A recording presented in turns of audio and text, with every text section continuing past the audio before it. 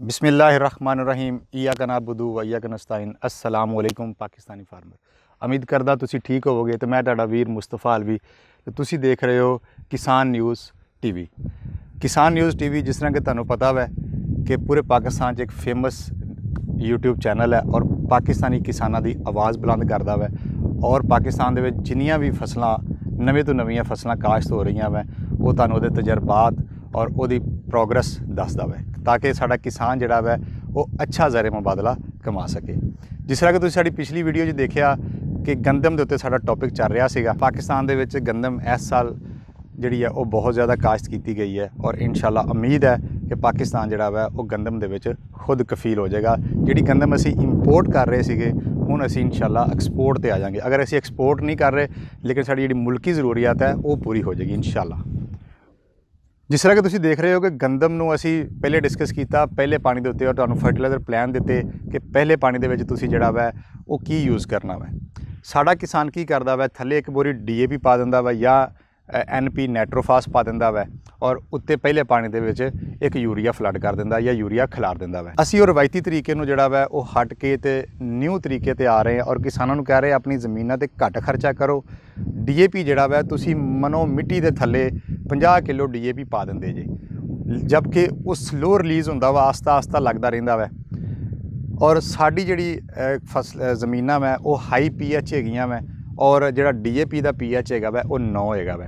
ਇਸ ਕਰਕੇ ਸਾਡਾ ਅਗਰ ਕਿਸਾਨ ਲੋ ਪੀਐਚ ਫਰਟੀਲਾਈਜ਼ਰ ਯੂਜ਼ ਕਰੇਗਾ, ਤੇ ਉਹਦੀਆਂ ਫਸਲਾਂ ਦਾ ਝਾੜ ਚੰਗਾ ਆਏਗਾ, ਉਹਦੀ ਪੈਦਾਵਾਰ ਜ਼ਿਆਦਾ ਆਏਗੀ, ਉਹਦਾ ਪੌਦਾ ਸੋਹਣਾ ਹੋਏਗਾ, ਕਿਸੇ ਸਟ੍ਰੈਸ 'ਚ ਨਹੀਂ ਜਾਏਗਾ।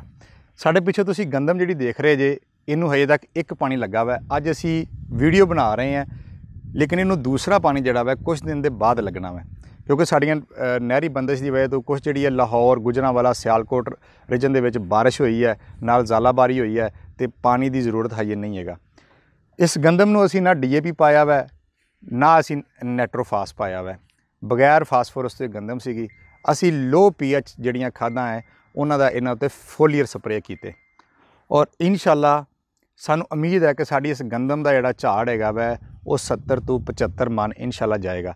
ਇਸ ਟਾਈਮ ਗੰਦਮ ਜਿਹੜੀ ਹੈ ਗੋਪ ਦੀ ਹਾਲਤ ਚ ਆ ਗਈ ਹੈ, ਪਾਣੀ ਇੱਕ ਲੱਗਾ ਵੈ। ਹੁਣ ਤੱਕ ਇਹਨੂੰ ਜਿੰਨੇ ਵੀ ਫਰਟੀਲਾਈਜ਼ਰ ਪਲਾਨ ਦਿੱਤੇ ਗਏ ਆ, ਉਹ ਸਿਰਫ ਔਰ ਸਿਰਫ ਫੋਲੀਅਰ ਸਪਰੇਅ ਕੀਤੇ ਗਏ ਆ। ਦੁਨੀਆ ਭਰ ਦੇ ਵਿੱਚ ਜਿਹੜੇ ਹੈ ਉਹ ਜਿੰਨੀ ਵੀ ਆਪਣਾ ਐਗਰੀਕਲਚਰ ਹੋ ਰਹੀ ਹੈ, ਉਹ ਜ਼ਿਆਦਾਤਰ ਜਿਹੜਾ ਵਾ, ਤੁਸੀਂ ਵੇਖੋਗੇ, ਨਹਿਰੀ ਨਿਜ਼ਾਮ ਨਹੀਂ ਹੈਗੇ। ਲੋਕਾਂ ਦੇ ਪੀਵਟ ਸਿਸਟਮ ਲੱਗੇ ਆ, ਜਾਂ ਫਿਰ ਜਿਹੜਾ ਵਾ ਉਹ ਸ਼ਾਵਰਿੰਗ ਦੇ ਨਾਲ ਪਾਣੀ ਜਿਹੜਾ ਵਾ ਉਹ ਦਿੰਦੇ ਆ। ਤੇ ਉਹ ਸ਼ਾਵਰਿੰਗ ਨਾਲ ਜਦੋਂ ਪਾਣੀ ਦਿੰਦੇ ਤੇ ਉਹਦੇ ਵਿੱਚ ਹੀ ਉਹ ਫਰਟੀਲਾਈਜ਼ਰ ਜਿਹੜੀ ਇਸਤੇਮਾਲ ਕਰ ਲੈਂਦੇ ਆ। ਜਿਹੜਾ ਪੀਵਟ ਸਿਸਟਮ ਔਰ ਸ਼ਾਵਰਿੰਗ ਦੇ ਨਾਲ ਜਾਂ ਗਨ ਰੇਨ ਦੇ ਨਾਲ ਜਿਹੜਾ ਪਾਣੀ ਫਸਲਾਂ ਨੂੰ ਲੱਗਦਾ ਵਾ ਉਹਦੇ ਦਾ ਫਰਟੀਲਾਈਜ਼ਰ ਪਲਾਨ ਹੁੰਦੇ ਆ, ਉੱਥੇ ਵਾਟਰ ਸੋਲੇਬਲ ਫਰਟੀਲਾਈਜ਼ਰ ਯੂਜ਼ ਕੀਤੇ ਜਾਂਦੀਆਂ ਜਿਹੜੀਆਂ ਪਾਣੀ ਦੇ ਵਿੱਚ ਫੌਰਨ ਹੱਲ ਹੋ ਜਾਣ। ਠੀਕ ਹੈ। ਔਰ ਜਿੰਨੀ ਉਹਨਾਂ ਦੀ ਕ੍ਰੌਪ ਹੁੰਦੀ ਹੈ ਉਹ ਪੀਵਟ ਦੇ ਸਿਸਟਮ ਦੇ ਨਾਲ ਜਾਂ ਰੇਨ ਗਨ ਦੇ ਨਾਲ ਉਹ ਫਰਟੀਲਾਈਜ਼ਰ ਜਿਹੜੀ ਹੈ ਉਹ ਪਾਣੀ ਦੇ ਨਾਲ ਜਿਹੜੀ ਉਹ ਜਾ ਰਹੀ ਹੁੰਦੀ ਹੈ ਤੇ ਸਾਡਾ ਕਿਸਾਨ ਜਿਹੜਾ ਵਾ, ਉਹ ਇੱਕ ਸਪਰੇਅ ਪੋਟਾਸ਼ ਦਾ ਕਰਕੇ ਆਂਦਾ, ਬੱਲੇ ਬੱਲੇ ਹੁਣ ਮੇਰੀ ਜਿਹੜੀ ਆ ਉਹ ਪੱਕੀ ਗੱਲ ਹੈ 50 ਮਣ ਐਵਰੇਜ ਆਏਗੀ। ਤੇ ਇੱਕ ਸਪਰੇਅ ਨਾਲ ਕੋਈ ਗੱਲ ਨਹੀਂ ਬਣਦੀ, ਨਾ ਅਮਾਈਨੋ ਐਸਿਡ ਦੇ ਇੱਕ ਸਪਰੇਅ ਨਾਲ ਗੱਲ ਬਣਦੀ ਹੈ ਨਾ ਪੋਟਾਸ਼ ਦੇ ਇੱਕ ਸਪਰੇਅ ਨਾਲ ਗੱਲ ਬਣਦੀ ਹੈ ਦੇਖੋ, ਇੱਕ ਕਿੱਲਾ ਵਾ, ਇੱਕ ਕਿੱਲੇ ਦੇ ਵਿੱਚ ਲੱਖਾਂ ਪੌਦੇ ਆ। ਤੇ ਤੁਸੀਂ ਅਮਾਈਨੋ ਐਸਿਡ ਦਾ ਜਾਂ ਪੋਟਾਸ਼ ਦਾ ਇੱਕ ਸਪਰੇਅ ਕਰਕੇ ਕਹਿੰਦੇ ਜੇ ਕਿ ਮੈਂ 90 ਮਣ ਝਾੜ ਲੈਣਾ ਜਾਂ ਮੈਂ 50 ਮਣ ਝਾੜ ਲੈਣਾ ਨਾਟ ਪੋਸੀਬਲ ਕਿ ਅਸੀਂ ਇਹਨੂੰ ਲਾਇਆ ਪਹਿਲਾ ਪਾਣੀ।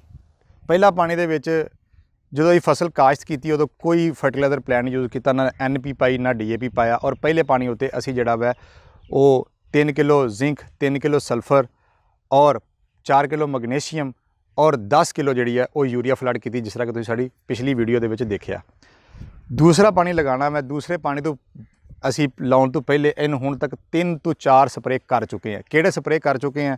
ਮੈਂ ਆਪਣੇ ਕੈਮਰਾਮੈਨ ਭਾਈ ਨੂੰ ਕਹਾਂਗਾ ਕਿ ਉਹ ਲਾਜ਼ਮੀ ਜਿਹੜੀ ਆ ਉਹ ਫਰਟੀਲਾਈਜ਼ਰ ਪਲਾਨ ਦੱਸਣ ਕਿ ਜਿਹੜੇ ਸਾਡੇ ਲੋਕਲ ਫਰਟੀਲਾਈਜ਼ਰ ਪਲਾਨ ਹੈ ਉਹਨਾਂ ਤੋਂ ਹਟ ਕੇ ਅਸੀਂ ਜਿਹੜੇ ਆ ਉਹ ਫਰਟੀਲਾਈਜ਼ਰ ਯੂਜ਼ ਕਰਦੇ ਆ ਇਹ ਜਿਹੜੀ ਚੀਜ਼ ਹੈਗੀ ਹੈ, ਐਪਸੋਟੌਪ ਹੈ। ਜਰਮਨ ਤੋਂ ਇੰਪੋਰਟ ਕੀਤਾ ਗਿਆ ਹੈ ਮੈਗਨੀਸ਼ੀਅਮ ਹੈ। ਇਹ ਪੋਟਾਸ਼ ਹੈ ਸੋਲੋ ਐਸਓਪੀ ਵਾਟਰ ਸੋਲੇਬਲ ਹੈ।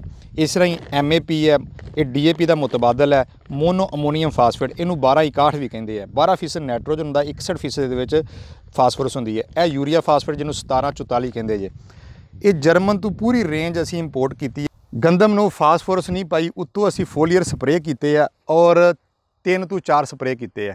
ਜਿਹੜੀਆਂ ਖਾਦਾਂ ਤੁਸੀਂ ਸਕਰੀਨ ਤੇ ਹੁਣ ਦੇਖ ਲਈਆਂ ਮੇਰੇ ਇੱਥੋਂ ਪਹਿਲੇ ਅਸੀਂ 2 ਕਿਲੋ ਐਸਓਪੀ ਔਰ 2 ਕਿਲੋ ਯੂਰੀਆ ਫਾਸਫੋਰ ਔਰ 1 ਕਿਲੋ ਮੈਗਨੀਸ਼ੀਅਮ ਠੀਕ ਹੈ ਜਿਹੜਾ ਅਸੀਂ ਸਪਰੇਅ ਕੀਤਾ। ਮੈਂ ਆਪਣੇ ਕੈਮਰਾਮੈਨ ਨੂੰ ਕਹਾਂਗਾ ਕਿ ਉਹ ਮੇਰੇ ਨੇੜੇ ਆਉਣ ਔਰ ਤੁਹਾਨੂੰ ਦਿਖਾਣ ਕਿ ਗੰਦਮ ਦਾ ਜਿਹੜਾ ਤਣਾ ਹੈ ਉਹ ਕਿੱਡਾ ਮਜ਼ਬੂਤ ਹੈ ਔਰ ਹੁਣ ਤੱਕ ਜਿਹੜਾ ਵੈ ਉਹ ਰਿਜ਼ਲਟ ਤੁਹਾਡੇ ਸਾਹਮਣੇ ਜਿਹੜਾ ਵੈ ਉਹ ਤੁਸੀਂ ਦੇਖ ਸਕਦੇ ਜੇ ਕਿ ਗੰਦਮ ਦਾ ਤਣਾ ਕਿੱਡਾ ਭਾਰਾ ਵੈ।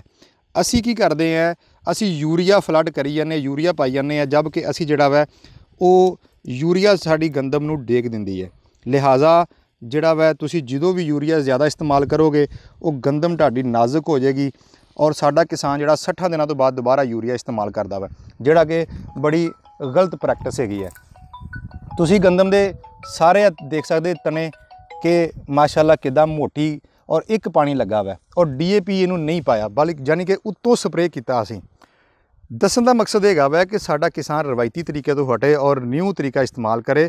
ਅਗਰ ਉਹਦੀ ਗੰਦਮ ਗਿੱਲੀ ਹੈ, ਪਾਣੀ ਨਹੀਂ ਲੱਗਦਾ, ਜਿੱਦਾਂ ਸਾਡੀ ਰਾਈਸ ਜ਼ੋਨ ਬੈਲਟ ਹੈਗੀ ਹੈ ਜਾਂ ਸਾਡਾ ਜਿਹੜਾ ਵਾ ਉਹ ਕਲਰਾਠੇ ਰਕਬੇ ਹੈ, ਪਾਣੀ ਇੱਕ ਵਾਰੀ ਲਾਈਦਾ ਵਾ ਔਰ ਉਹ ਪੀਂਦੇ ਹੀ ਨਹੀਂ ਹੈ, ਉਹ ਉੱਤੋਂ ਫੋਲੀਅਰ ਸਪਰੇਅ ਕਰਨ। ਜਿਹੜੀਆਂ ਮੈਂ ਖਾਦਾ ਤੁਹਾਨੂੰ ਦਿਖਾਈਆਂ ਵਾ, ਇਹਨਾਂ ਤੁਸੀਂ ਉੱਤੋਂ ਫੋਲੀਅਰ ਸਪਰੇਅ ਕਰ ਸਕਦੇ ਜੇ।